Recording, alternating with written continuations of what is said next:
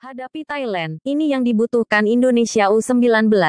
Manajer Timnas Indonesia U19, Roni Fauzan, bersyukur Egi Maulana DKK bisa lolos ke babak semifinal Piala AFF U18 2017.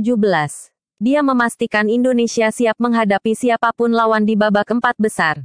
Di pertandingan terakhir grup B di Stadion Tuhuna, Rabu, tanggal 13 September tahun 2017, sore, Indonesia U19 menang telak 8-0 atas Brunei Darussalam.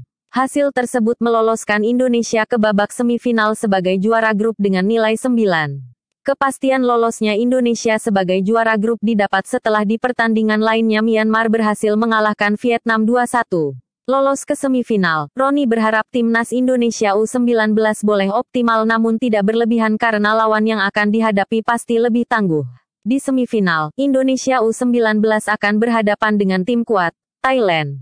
Roni mengingatkan agar anak asuh Indra Syafri tidak kalah sebelum bertanding.